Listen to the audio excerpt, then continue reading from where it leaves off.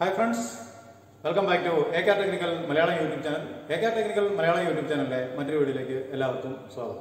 ഇന്ന് ഞാൻ ഈ വീഡിയോയിലൂടെ പറയാൻ പോകുന്നത് പവർ ഫാക്ടർ എന്താണ് പവർ ഫാക്ടർ ഏതൊക്കെ ടൈപ്പാണ് ഉള്ളത് എന്നതിനെ പറ്റിയാണ്. ഈ വീഡിയോ മുഴുവനായും കണ്ടാൽ നിങ്ങൾക്ക് പവർ ഫാക്ടർ എന്താണ് ഏതൊക്കെ ടൈപ്പ് പവർ ഫാക്ടർ ഉണ്ട് അത് എങ്ങനെ എന്തൊക്കെ ലോഡ് കണക്ട് ചെയ്യുമ്പോഴാണ് പവർ ഫാക്ടർ മെയിന്റെയിൻ ചെയ്യേണ്ടത് എന്നതിനെ പറ്റിയാണ് ഞാൻ ഈ വീഡിയോ ചെയ്യുന്നത്. നമ്മുടെ ഈ ചാനൽ വഴി ഇലക്ട്രിക്കൽ എഞ്ചിനീയറിംഗ് ടെക്പരമായ വീഡിയോകളാണ് കൂടുതലായും അപ്ലോഡ് ചെയ്യുന്നത്. നിങ്ങൾക്ക് കൂടുതൽ ഇലക്ട്രിക്കലിനെ പറ്റി അറിയണമെങ്കിൽ ഈ ചാനൽ സബ്സ്ക്രൈബ് ചെയ്ത് ബെല്ലൈക്കൺ എനേബിൾ ചെയ്താൽ വീഡിയോകൾ അപ്ലോഡ് ചെയ്യുമ്പോൾ അപ്പോൾ തന്നെ നിങ്ങൾക്ക് നോട്ടിഫിക്കേഷൻ ലഭിക്കുകയും അപ്പോൾ തന്നെ നിങ്ങൾക്ക് അത് കാണാവുന്നതാണ്. ഓക്കെ ഫ്രണ്ട്സ് നമുക്ക് വീഡിയോയുടെ ടോപ്പിക്കിലേക്ക് പോകാം അതിനു മുമ്പ് ഈ വീഡിയോ ഇഷ്ടപ്പെട്ടാൽ നിങ്ങൾ ലൈക്ക് ചെയ്യുക കൂട്ടുകാർക്കായി ഷെയർ ചെയ്ത് കൊടുക്കുക. മറ്റുള്ളവർക്കും ഇതിന് ഒരു അറിവ് പകർന്നു കൊടുക്കുന്നതിനായി വീഡിയോ കൂട്ടുകാർക്കായി ഷെയർ ചെയ്ത് കൊടുക്കുക. നിങ്ങൾക്ക് ഈ കാണുന്ന ഇതാണ് എന്റെ വെബ്സൈറ്റ് കൂടുതൽ മനസ്സിലാക്കാനായി നമ്മുടെ വെബ്സൈറ്റ് സന്ദർശിക്കുക. വെബ്സൈറ്റിന്റെ ലിങ്ക് ഞാൻ താഴെ കൊടുത്തിട്ടുണ്ട്. മറ്റ് വീഡിയോകളുടെയും ലിങ്ക് ഞാൻ ഈ വീഡിയോയുടെ താഴെ ഡിസ്ക്രിപ്ഷൻ കൊടുത്തിട്ടുണ്ട്. നിങ്ങൾക്ക് അത് കണ്ട് മനസ്സിലാക്കാം. ഞാൻ കഴിഞ്ഞ തവണ ചെയ്ത വീഡിയോ എം സി ബി എത്ര തരമുണ്ട് അത് ഏതൊക്കെ ടൈപ്പാണ് അത് എന്തൊക്കെയാണെന്നാണ് ഞാൻ കഴിഞ്ഞ വീഡിയോയിൽ ചെയ്തത്. അത് കാണാത്തവർക്കായി ഞാൻ അതിന്റെ ലിങ്ക് ഈ വീഡിയോയുടെ ഡിസ്ക്രിപ്ഷനിൽ താഴെ കൊടുത്തിട്ടുണ്ട്. ഡിസ്ക്രിപ്ഷൻ ചെക്ക് ചെയ്ത് നിങ്ങൾക്ക് അതിൽ നിന്നും അത് കാണാവുന്നതാണ്. ഓക്കെ നമ്മുടെ വീഡിയോയിലേക്ക് പോകാം നമ്മുടെ വീഡിയോയിൽ ഇപ്പോൾ പറയാൻ പോകുന്നത് പവർ ഫാക്ടറിനെ പറ്റിയാണ്. ഇതാണ് നമ്മുടെ ടോപ്പിക്ക് പവർ ഫാക്ടർ ഏതൊക്കെ ടൈപ്പ് ഉണ്ട് എന്നാണ് പറയാൻ പോകുന്നത്. അതുമായി പറയുകയാണെങ്കിൽ ഒന്നാമത്തേത് യൂണിറ്റി പവർ ഫാക്ടറാണ് പവർ ഫാക്ടർ ഷോർട്ട് ഫോമിൽ അല്ലെങ്കിൽ പി എഫ് എന്ന് പറയും. രണ്ടാമതായി നമുക്ക് ലാഗിംഗ് പവർ ഫാക്ടറാണ് ലാഗിംഗ് ലാഗിംഗ് പവർ ഫാക്ടർ മൂന്നാമത്തേത് നമുക്ക് ലീഡിംഗ് പവർ ഫാക്ടറാണ് ഇങ്ങനെ മൂന്ന് ടൈപ്പ് പവർ ഫാക്ടറുകളാണ് നമുക്ക് നിലവിൽ കാണാൻ പറ്റുന്നത്. ഇത് യൂണിറ്റി പവർ ഫാക്ടർ എന്ന് പറഞ്ഞാൽ വൺ ആയിരിക്കും. ഇൻഡക്റ്റീവ് ലോഡുകൾക്കാണ് ഇത് ഈ ലാഗിംഗ് പവർ ഫാക്ടർ വരുന്നത്. ലീഡിംഗ് പവർ ഫാക്ടർ നമുക്ക് കപ്പാസിറ്റീവ് ലോഡിനാണ് ലീഡിംഗ് പവർ ഫാക്ടർ വരുന്നത്. ഇത് റെസിസ്റ്റീവ് ലോഡിനാണ് യൂണിറ്റി പവർ ഫാക്ടർ വരുന്നത്. റെസിസ്റ്റീവ് റെസിസ്റ്റീവ് ലോഡിലാണ് നമുക്ക് ഈ ഒന്നാമത്തെ യൂണിറ്റി പവർ ഫാക്ടർ കിട്ടുന്നത്. റെസിസ്റ്റീവ് ലോഡിൽ നമുക്ക് പവർ ഫാക്ടർ വണ്ണ് കിട്ടും. അതുകൊണ്ടാണ് ഇത് യൂണിറ്റി പവർ എന്ന് പറയുന്നത്. തുടർന്ന് ഞാൻ ഇതിന്റെ വേവ് ഫോം വരച്ച് കാണിക്കുന്നതാണ്. നിങ്ങൾ വാച്ച് ചെയ്തുകൊണ്ടിരിക്കുക. ഇത് ഒന്നാമത്തത് റെസിസ്റ്റീവ് ലോഡിന് രണ്ടാമത്തത് ഇൻഡക്ഷൻ ഇൻഡക്റ്റീവ് ലോഡുകൾക്കാണ്. ഇൻഡക്റ്റീവ് ലോഡിനാണ് രണ്ടാമത്തെ ലാഗിംഗ് പവർ ഫാക്ടർ വരുന്നത്. ഈ മൂന്നാമത്തെ ലീഡിംഗ് പവർ ഫാക്ടർ കപ്പാസിറ്റീവ് ലോഡിനാണ്. കപ്പാസിറ്റൻസ് ലോഡിലാണ്. നമുക്ക് ഈ ലീഡിംഗ് പവർ ഫാക്ടർ കിട്ടുന്നത്. ഈ ക്രമത്തിൽ തന്നെയാണ് യൂണിറ്റി പവർ നമുക്ക് റെസിസ്റ്റീവ് ലോഡിന് അതായത് വൺ കിട്ടും.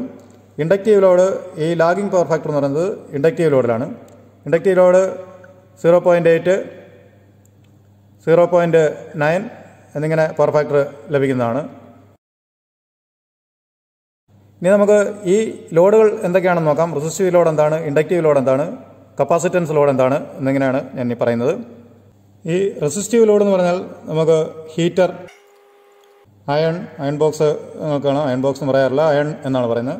അയൺ മറ്റ് ഹീറ്ററുകൾ അതായത് ഹീറ്റിംഗ് എലമെന്റ് വരുന്ന എല്ലാ ഐറ്റം ബൾബ് മുമ്പുണ്ടായിരുന്ന നമ്മുടെ നോർമൽ ബൾബുകൾ ഇതെല്ലാം റെസിസ്റ്റീവ് ലോഡിൽ പെടുന്നതാണ്. ഇതിൽ നമുക്ക് പവർ ഫാക്ടർ വണ്ണ് തന്നെ നമുക്ക് ലഭിക്കും. അതുകൊണ്ടാണ് ഇതിനെ യൂണിറ്റി പവർ എന്ന് പറയുന്നത്. രണ്ടാമതായി നമുക്ക് പറയാനുള്ളത് ഇൻഡക്റ്റീവ് ലോഡാണ്. ഇൻഡക്റ്റീവ് ലോഡ് എന്താണെന്നുള്ളതാണ്. ഇൻഡക്റ്റീവ് ലോഡ് എന്ന് പറയുന്നത് നമ്മുടെ മോട്ടോറുകളാണ്.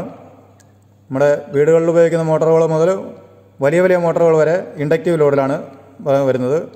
മോട്ടോർ അതായത് വൈൻഡിംഗ് ഉള്ള എന്തിനും അതായത് റൊട്ടേറ്റിംഗ് എക്യുപ്മെന്റുകൾക്കാണ് ഇൻഡക്റ്റീവ് ലോഡ് എന്ന് പറയുന്നത്. റൊട്ടേറ്റിംഗ് എക്യുപ്മെൻസിനാണ് ഈ ഇൻഡക്റ്റീവ് ലോഡ്. അതായത് ഇതിന് പവർ ഫാക്ടർ വരുന്നത് സീറോ പോയിന്റ് എയ്റ്റ് ഞാൻ മുമ്പ് പറഞ്ഞ തന്നെ zero point eight zero point nine എന്നിങ്ങനെ കിട്ടും. ഇതിന് മുകളിലേക്ക് ഇൻഡക്റ്റീവ് ലോഡ് കിട്ടാറില്ല. പോയിന്റ് നയൻ വരേക്കുമാണ് നമുക്ക് സാധാരണ ഇൻഡക്റ്റീവ് ലോഡുകൾ അതായത് റൊട്ടേറ്റിംഗ് എക്യുപ്മെന്റിന് പവർ ഫാക്ടർ ലഭിക്കുക. അടുത്തതായി നമുക്ക് പറയാനുള്ളത് ലീഡിംഗ് പവറിനെ പറ്റിയാണ്. Leading power factor leading power factor എന്ന് പറയുമ്പോൾ കപ്പാസിറ്റീവ് ലോഡാണ് കപ്പാസിറ്റീവ് ലോഡാണ് നമുക്ക് ലീഡിംഗ് പവർ എന്ന് പറയുന്നത്. അതായത്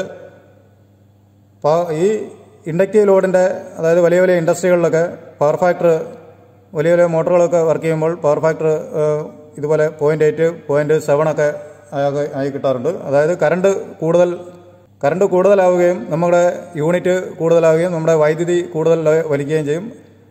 അപ്പോൾ നമ്മുടെ അടുത്തുള്ള മറ്റ് സ്ഥലങ്ങളിലേക്ക് ഇതിന്റെ വോൾട്ടേജ് ലോ ആവും. അതുകൊണ്ടാണ് ഈ പവർ ഫാക്ടർ മെയിന്റെയിൻ ചെയ്യാൻ വേണ്ടി കപ്പാസിറ്റീവ് ലോഡ് നമ്മൾ കൊടുക്കുന്നത്. അതായത് capacitance P F C panel power factor correction panel അതായത് A P F C panel എന്ന് പറയും. A P A P F C panel A P F C പാനലൊക്കെ ഈ കപ്പാസിറ്റി കപ്പാസിറ്റീവ് ലോഡ് കൊടുക്കാൻ വേണ്ടിയിട്ടാണ് ഉപയോഗിക്കുന്നത്.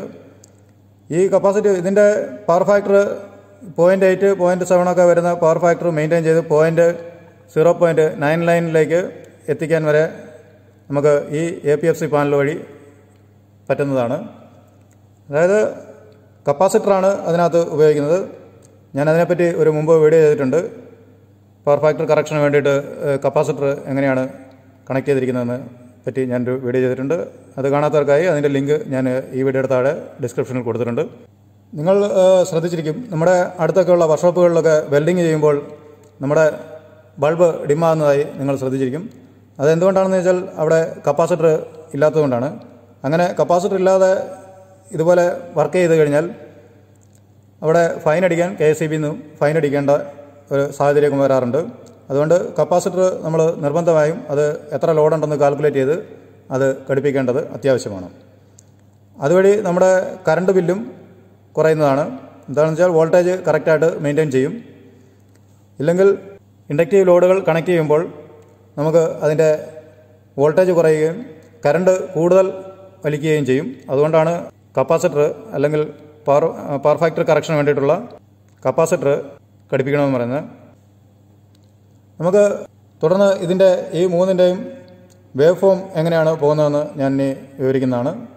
ഞാൻ ആദ്യം കാണിച്ചതുപോലെ തന്നെയാണ് അതിനകത്ത് മൂന്ന് വേവ് ഫോമും ഞാൻ ഇപ്പോൾ വരച്ച് കാണിക്കാം.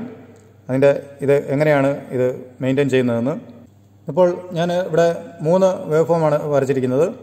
ഇത് ഒരു വോൾട്ടേജിന്റെ വേവ് ഫോമാണ് അതായത് ഈ പീക്ക് ലെവൽ പ്ലസിലും അതായത് പ്ലസ് ഇത് ടു തേർട്ടി വോൾട്ട് ആണെങ്കിൽ ഇവിടെ നമുക്ക് മൈനസ് ടു തേർട്ടി വോൾട്ടാണ് ഇത് ടൈമാണ് അതായത് ഇത് ഈ സീറോ പോയിന്റിൽ നിന്നും തുടങ്ങി വൺ എയ്റ്റി ക്രോസ് ചെയ്ത് അതായത് ഇവിടെ സീറോ പോയിന്റിലെത്തി സീറോ പോയിന്റിൽ നിന്ന് ത്രീ സിക്സ്റ്റിയിൽ വരെ എത്തുന്നതാണ് ഒരു സൈക്കിൾ എന്ന് പറയുന്നത്. ഇതുപോലത്തെ അൻപത് സൈക്കിൾ ഒരു സെക്കൻഡിൽ വൺ സെക്കൻഡിൽ വരുന്നതാണ്. ഫിഫ്റ്റി ഹെഡ്സ് എന്ന് നമ്മൾ പറയാറുള്ളത്. അതായത് two thirty volt fifty hertz എന്ന് പറയുന്നത് ഇതുപോലത്തെ അൻപത് സൈക്കിൾ ഒരു സെക്കൻഡിൽ വരുമ്പോഴാണ് നമ്മൾ ഇത് പറയുന്നത്. ഇതാണ് ഇത് എ സി വേവ് ഫോമാണ് A C wave form D C wave form ഇങ്ങനെ ഡയറക്റ്റാണ് വരുന്നത്. അതായത് പ്ലസും മൈനസും അങ്ങനെ ഇങ്ങനെയാണ് വരുന്നത്. ഇത് എ സി വേവ് ഫോമാണ് എ സി വേവ് ഫോം എന്താണെന്ന് ചോദിച്ചാൽ ഇതാണ് ഇതിന്റെ എ സി വേവ് ഫോം എന്ന് പറയാം. ഇനി നമുക്ക് ഇതിന്റെ പവർ ഫാക്ടറാണ് ഇപ്പോൾ ഞാൻ നോക്കാൻ പോകുന്നത് ഇതിലേക്ക് നമ്മൾ ലോഡ് കണക്ട് ചെയ്ത് യൂണിറ്റി പവർ ഫാക്ടർ വരുന്നത് എന്ന് പറയുമ്പോൾ അതിന്റെ ലോഡ് എത്ര ആംസ് എടുക്കുന്നോ? അത് ഈ സീറോ പോയിന്റിൽ നിന്നും തുടങ്ങി അടുത്തതായി ഈ വൺ എയ്റ്റി ഡിഗ്രിയിൽ ക്രോസ് ചെയ്ത് അതായത് സീറോ തന്നെ വന്ന് ഇതുപോലെ ത്രീ സിക്സ്റ്റി ഡിഗ്രിയിലേക്ക് ഇതുപോലെ അതിന്റെ ആംബിയർ അതായത് കറണ്ട് ഐ എന്ന് പറയും. ഐ ഇതുപോലെ പാസ് ചെയ്യുന്നതാണ്. ഇത് ഇതിന്റെ യൂണിറ്റി പവർ ഫാക്ടർ എന്ന് പറയുന്നത് വൺ ആണെന്ന് ഞാൻ മുമ്പ് പറഞ്ഞല്ലോ. മറ്റേ ലാഗിങ്ങിൽ വരുമ്പോൾ ഇത് പോയിന്റ് എയ്റ്റ് പോയിന്റ് സെവൻ ഇങ്ങനെ വരുന്നതാണ്. പോയിന്റ് നയൻ വരേക്കും ലാഗിങ് പവർ ഫാക്ടർ നമുക്ക് ലഭിക്കാറുണ്ട്. മോട്ടോറുകൾക്ക് അതായത് ഇൻഡക്ഷൻ മോട്ടോറുകൾക്ക് മറ്റുമാണ് ഇതുപോലെ ലാഗിങ് പവർ ഫാക്ടർ വരുന്നത്. അടുത്തത് നമുക്ക് ഈ ലാഗിങ് പവർ ഫാക്ടറിന്റെ സോഴ്സ് ഒന്ന് നോക്കാം. അതിന്റെ വേവ് ഫോമാണ് ഞാൻ പറയുന്നത്. അതായത് ഇത് ഞാൻ പറഞ്ഞല്ലോ ഇത് ടു തേർട്ടി വോൾട്ടാണ് ടു തേർട്ടി വോൾട്ടിന്റെ വേവ് ഫോമാണ് ഇപ്പോൾ ഈ മൂന്നും വരച്ചിരിക്കുന്നത്. ഇവിടെ two thirty peak peak voltage എന്ന് പറയുന്നത് ടു തേർട്ടി വരും. ഈ കറണ്ടിന്റെ വേവ് ഫോം ലാഗിങ് പവർ ഫാക്ടറിലേക്ക് പോകുമ്പോൾ നമുക്ക് ഈ വോൾട്ടേജിനേക്കാളും മുന്നിലായിരിക്കും കറണ്ടിന്റെ വേവ് ഫോം പോവുക. അത് ഇതുപോലെ ലാഗിംഗ് പവർ ഫാക്ടറിലേക്ക് വരുമ്പോൾ യൂണിറ്റി പവറിൽ നിന്നും വ്യത്യസ്തമായി ഇതിന്റെ കറണ്ടിന്റെ വേവ് ഫോം വോൾട്ടേജിനേക്കാളും മുന്നിൽ പോകും അതായത് വോൾട്ടേജ് കടന്ന് അതിന്റെ മുന്നോട്ട് കയറി ഇതുപോലെ വേവ് ഫോം പോകും അതുകൊണ്ടാണ് ഇതിന് പവർ ഫാക്ടർ ഒന്നിലും താഴെയാണെന്ന് പറയുന്നത്. ഇത് രണ്ടും ഒരുപോലെ ആകുന്നതാണ് യൂണിറ്റി പവർ എന്ന് പറയുന്നത്. അതായത് വൺ തന്നെ കിട്ടും. അത് നമുക്ക് റെസിസ്റ്റീവ് ലോഡുകൾക്ക് മാത്രമേ ഇതുപോലെ വണ്ണ് കിട്ടാറുള്ളൂ. അടുത്തത് ലീഡിംഗ് പവർ ഫാക്ടർ അതായത് കപ്പാസിറ്റൻസ് പവർ ഫാക്ടർ അതിനു മുമ്പ് നമുക്ക് ഇതിന്റെ ലോഡ് എങ്ങനെയാണ് കണക്ട് ചെയ്തിരിക്കുന്നത് നോക്കാം. നമ്മൾ ലോഡ് കണക്ട് ചെയ്യുന്നതെന്ന് പറയുമ്പോൾ ഇത് ഒരു എ സി സപ്ലൈ ആണെങ്കിൽ ഇവിടെ നിന്നും ഇത് ഇതുപോലെ റെസിസ്റ്റൻസ് കൊടുത്ത് ആർ എന്ന് പറയും. ഇതുപോലെ കണക്ട് ചെയ്തിരിക്കും. റെസിസ്റ്റൻസ് കിട്ടുന്നതിനാണ് നമ്മൾ റെസിസ്റ്റീവ് ലോഡ് എന്ന് പറയുന്നത്. റെസിസ്റ്റീവ് ലോഡാണ്. അടുത്ത് നമുക്ക് ഇതിൽ പറയുകയാണെങ്കിൽ ലാഗിംഗ് പവറിൽ പറയുകയാണെങ്കിൽ ഇതുപോലെ ഇത് എ സി സപ്ലൈ ഇവിടെ നിന്നും ഇതുപോലെ ഇത് കോയിലായിരിക്കും. അതായത് വൈൻഡിങ് ആണ് നമ്മൾ ഉദ്ദേശിക്കുന്നത്. ഇത് വൈൻഡിങ് ഉള്ള മോട്ടോറുകൾക്കൊക്കെ വൈൻഡിങ് വരുമല്ലോ. അതാണ് ഇത് പറഞ്ഞത്. ഇതാണ് ഇൻഡക്റ്റീവ് ലോഡ് എന്ന് പറയുന്നത്. അതായത് കോയിൽ ഇൻഡക് ഇൻഡക്റ്റീവ് കോയിലാണ് ഈ ഞാൻ ഈ കാണിച്ചത്. ഇൻഡക്റ്റീവ് ഇത് ഇൻഡക്റ്റീവ് ലോഡാണ് അടുത്ത കപ്പാസിറ്റൻസ് ലോഡ് എങ്ങനെയാണ് വരയ്ക്കുന്നതെന്ന് വെച്ചാൽ ഇവിടെ എ സി ഇതുപോലെ. ഇതാണ് കപ്പാസിറ്റർ ഇത് കപ്പാസിറ്ററാണ് ഇത് ലൈനിന് പാരലായിട്ട് തന്നെയാണ് കപ്പാസിറ്റർ കണക്ട് ചെയ്യുക. അതായത് നമ്മുടെ പവർ ഫാക്ടർ കറക്റ്റ് ചെയ്യാൻ വേണ്ടിയിട്ട് അതായത് കറണ്ടിന്റെ കറണ്ട് കുറയ്ക്കാൻ വേണ്ടിയിട്ട് നമ്മൾ കപ്പാസിറ്ററാണ് യൂസ് ചെയ്യുന്നത്. ഇത് കപ്പാസിറ്റീവ് ലോഡ് എന്ന് പറയും. കപ്പാസിറ്റീവ് കപ്പാസിറ്റീവ് ലോഡ് ഇതിന്റെ വേവ് ഫോം എന്ന് പറയുന്നത് നമുക്ക് ഇതിന് പുറകിലേക്ക് വരും. അതായത് വോൾട്ടേജിന് പുറകിലായിരിക്കും ഇതിന്റെ വേവ് ഫോം പോവുക. ഇതുപോലെ നമ്മൾ കപ്പാസിറ്റർ കണക്ട് ചെയ്ത് വലിയ വലിയ ഡിസ്ട്രിബ്യൂഷൻ പാനൽ ഡിസ്ട്രിബ്യൂഷനുകളിലും ഡിസ്ട്രിബ്യൂഷൻ പാനലുകളിലും മറ്റും ഇതുപോലെ എ പി എഫ് സി അതായത് ഓട്ടോമാറ്റിക് പവർ ഫാക്ടർ കറക്ഷന് വേണ്ടിയിട്ട് A P F C panel connect ചെയ്യാറുണ്ട്. കപ്പാസിറ്റർ ബാങ്ക് കണക്ട് ചെയ്ത് നിങ്ങൾ പലയിടത്തും കണ്ടിരിക്കും. നിങ്ങൾ ഇലക്ട്രിക്കൽ ഫീൽഡിൽ ഇൻഡസ്ട്രിയൽ വയറിങ്ങിലൊക്കെ ഇതുപോലെ കപ്പാസിറ്റർ ബാങ്ക് നിർബന്ധമാണ്. ഇത് നമ്മൾ ഇതുപോലെ കണക്ട് ചെയ്ത് കഴിയുമ്പോൾ ഇതിന്റെ കറണ്ട് പുറകിലും ഇതിന്റെ വോൾട്ടേജ് മുന്നോട്ടും പോകുന്നതാണ്. അതിന്റെ വേവ് ഫോം ഇങ്ങനെയാണ് പോകുന്നത്. അതായത് ഇത് നമുക്ക് പവർ ഫാക്ടർ കറക്റ്റ് ചെയ്യാനായിട്ട് സീറോ പോയിന്റ് നയൻ വരെ നയൻ നയൻ വരേക്കും നമുക്ക് വണ്ണ് കിട്ടാറില്ല. പോയിന്റ് നയൻ നയൻ വരേക്കും നമുക്ക് ഇതിന്റെ പവർ ഫാക്ടർ മെയിന്റെയിൻ ചെയ്യാൻ പറ്റും.